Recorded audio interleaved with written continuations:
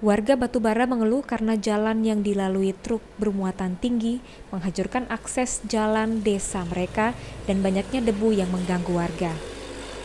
Proyek jalan tol yang dikerjakan oleh PT PP dan PP Presesi langsung tanggap dengan permintaan warga setempat. Salah seorang warga, Samsul, berharap agar jalan yang rusak segera diperbaiki agar mudah dilintasi warga. Manajer lapangan PT Hutama Karya, Agus Irianto, mengaku akan bertanggung jawab atas masalah tersebut dan meminta kerjasama yang baik dari warga demi kedamaian bersama. Proyek Jalan Tol Indrapura Kisaran sepanjang 48 kg diperkirakan segera selesai tahun 2022. Tolong disiram kan itu. Ya, sampai jam satu enggak juga, sampai sore enggak juga. Kan itu. Bahkan saya lapor sama mandor yang di simpang 4 itu yang jaga apa.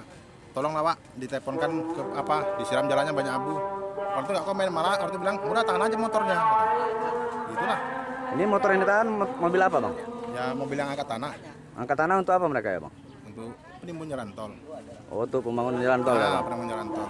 Jadi tuntutan warga tadi hanya Hanya kami mungkin tadi kalau disiram, ini nggak akan terjadi. Komplain dari warga Tanah Merah. Sebetulnya itu sudah terangkum Pak. Terangkum dengan MOU yang sudah pernah kita bikin dengan pemerintah Kabupaten Batubara dan kelihatannya semuanya itu sudah masuk di dalam.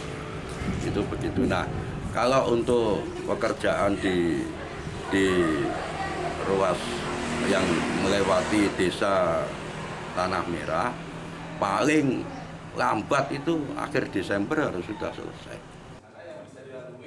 Dari Batubara, Sumatera Utara, Soleh Pelka, Tribrata TV, Salam Tribrata.